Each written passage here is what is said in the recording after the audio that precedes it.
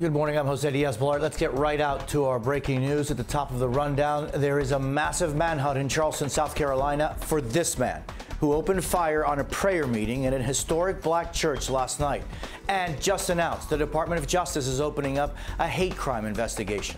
Nine people are dead, three men, six women. One victim identified as the pastor of Emanuel AME Church, Clementa Pinckney, who was also a state senator. This is a suspect they're looking for. A church surveillance camera captured these images of the shooter walking into the church.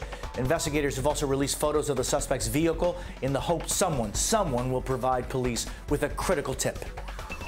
This is a very dangerous individual. He should not be approached by anyone call law enforcement if you recognize the individual or the car so that we can take the appropriate action to address this situation.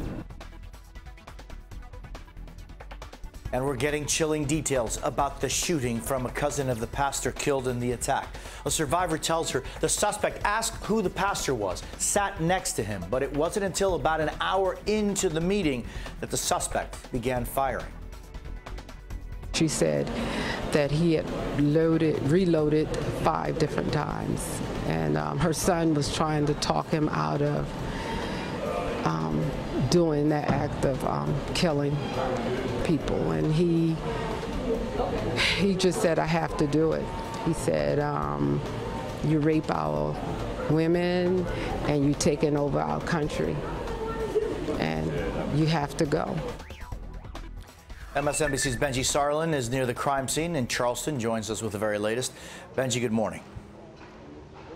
Good morning, Jose. And as you can see from that detail, the mood is quite grim. Uh, oh, people are starting to really grapple with the details of what happened, which were very slow to come out after the uh, initial incident. There were very few interviews with any witnesses. Families have mostly been holed up at a nearby hotel, waiting for information, presumably comforting each other. I spoke with one pastor who prayed with them as a group, but he said everyone is giving them their space individually, not pressing them for too much detail.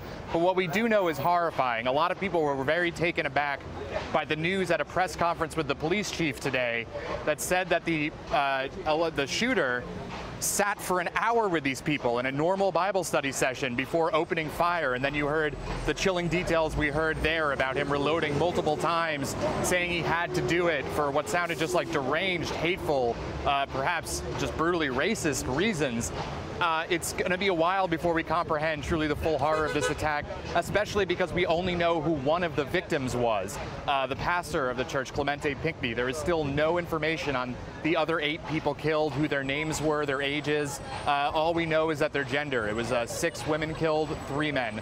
Uh, but that's all we know for now, Jose.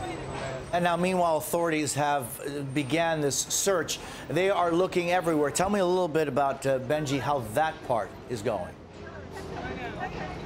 Now, this isn't like the Boston bomber manhunt where everyone was confined in their houses, where it, it, felt like there were tanks rolling down the street practically. Things are proceeding even a block away from the church where we are now. As normal, there's a lot of traffic rumbling through, there's buses. Uh, you would not think it is some crazed manhunt situation, but we're being told that people are on this case and it is now a regional search. Uh, there are obviously people concerned since they don't know who the immediate location of this of this person, of this uh, shooter, if he could have gotten to somewhere else, another city, another state. So authorities reassured earlier that first of all, they're working with the FBI, but also people from other police departments, with state police departments, uh, to look from everywhere from Charleston to Savannah to Columbia. Uh, the entire region, no stone is being left unturned. Everyone's on high alert until they can apprehend the suspect. Benjy Sarlin, thank you very much. Hey YouTube fans, I'm Luke Russert. Thanks for checking out our MSNBC channel. Subscribe by clicking right here and click any of the videos over here to watch the latest breaking news, mini documentaries, conversations from Shift, and other digital exclusives. Check it out.